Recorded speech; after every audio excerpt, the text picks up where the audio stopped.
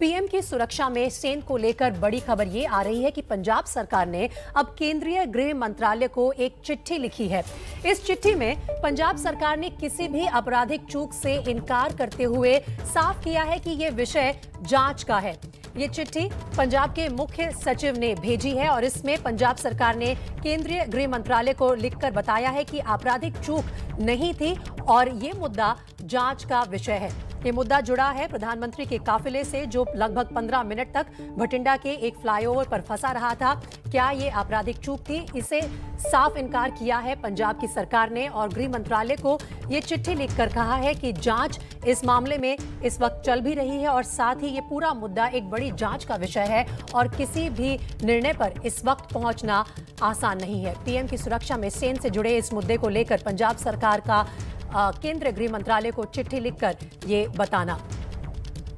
साथ ही बड़ी बात यह है कि आपराधिक चूक से मना किया है, इनकार किया है। पंजाब पुलिस ने मामले में एफआईआर दर्ज करने की भी बात की है और कहा है कि पीएम की सुरक्षा को लेकर जो चूक हुई, वो एक बड़ी जाँच का विषय है। इस पूरे मामले में पंजाब सरकार ने ये साफ़ किया है, केंद्रीय गृह मंत्रालय को चिट्ठी लिखकर। हमारे वरिष्ठ सहयोगी ओम प्रकाश तिवारी इस वक्त हमारे साथ जुड़ रहे हैं। इस मामले में ताज़ा जानकारी के साथ, ओम प्रकाश, पहले तो आप ये बताइए कि इस पूरी चिट्ठी में क्या लिखा है? पंजाब सरकार ने अपना पक्ष किस तरह से साफ़ किया है? देखिए, मैं आपको बता दूँ, केवल ये एक मात्र चिट्ठी है जो इस इंसिडेंट के बाद पंजाब सरकार द्वारा केंद्रीय गृह मंत्रालय को मिली है। पंजाब सरकार ने अपनी चिट्ठी में स्पष्ट तौर पर लिखा है कि जो प्रधानमंत्री की सुरक्षा में जो चूक हुई है, उसको पंजाब सरकार ने बहुत ही गंभीर तरीके से लिया है। साफ़ तौर पर कहा गया है कि इस चूक को उन्होंने बहुत ही गंभीर तरीके से लिया है और इसके लिए उन्होंने पंजाब और हरियाणा हाईकोर्ट के एक जज की अध्यक्षता में एक कमेटी बनाई है, जो तीन दिन के अंदर अपनी रिपोर्ट देगी। इस पत्र में यह भी बताया गया है केंद्र सरकार को कि उनको, उनके द्वारा जो तीन सदस्यीय कमेटी गठित की गई है, केंद्रीय गृह मंत्रालय द्वारा का जो सेक्रेटरी सिक्योरिटी की अध्यक्षता में कमेटी गठित की गई है इस बारे में भी उन्हें सूचना मिल, मिल चुकी है।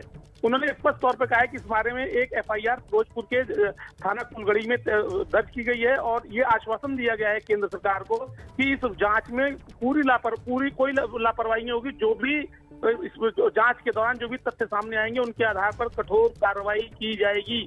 यानी कुल मिलाकर जो आपराधिक चूक है उसके बारे में इस पत्र में गोल मोल जवाब दिया गया है।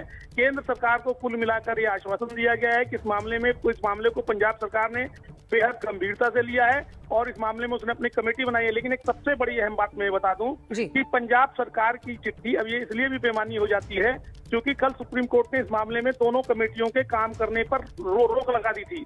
और ये चिट्ठी पंजाब सरकार ने इसलिए केंद्रीय गृह मंत्रालय को भेज दी क्योंकि केंद्रीय गृह मंत्रालय ने चूक को लेकर पंजाब सरकार से जवाब मांगा था। जी। और गंभीर आरोप भी लग रहे थे पंजाब सरकार पर इस पूरे मामले को लेकर। तो ओम प्रकाश आप जैसे कह रहे हैं कि पहली बार तो चिट्ठी लिखकर अपना पक्ष साफ़ करने की कोशिश की पंजाब सरकार ने केंद्रीय गृह मंत्रालय को, और उसमें भी गोलमोल जवाब दे रहे हैं। अपने आप को बचाने की कहीं ना कहीं कोशिश कर ये नहीं बताया कि ज़िम्मेदारी किसकी बनती है।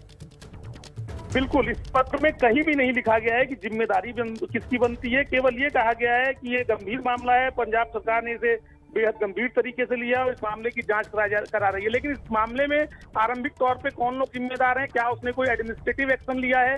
इस बारे में चिट्ठी में पूरी तरह से शांति है। पंजाब के चीफ सेक्रेटरी अनिरुद्ध तिवारी की तरफ़ से यह पत्र लिखा गया और इस पत्र में पूरी तरह से इस बात पर खामोशी है कि इस चूक के लिए तथाकथित तौर पर आरंभिक जाँच के दौरान कौन लोग दोषी हैं। कुल मिलाकर मामले पर एक तरह से कहा जाए तो पर्दा डालने की कोशिश की गई है, केवल गंभीरता जताई गई है, लेकिन एडमिनिस्ट्रेटिव एक्शन पंजाब सरकार ने क्या लिया, इसमें कहीं भी इस बात का कोई उल्लेख नहीं है। जी।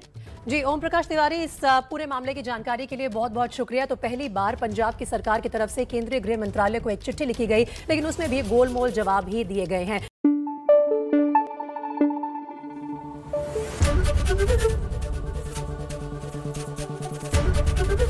ABP News. आपको रखे आगे।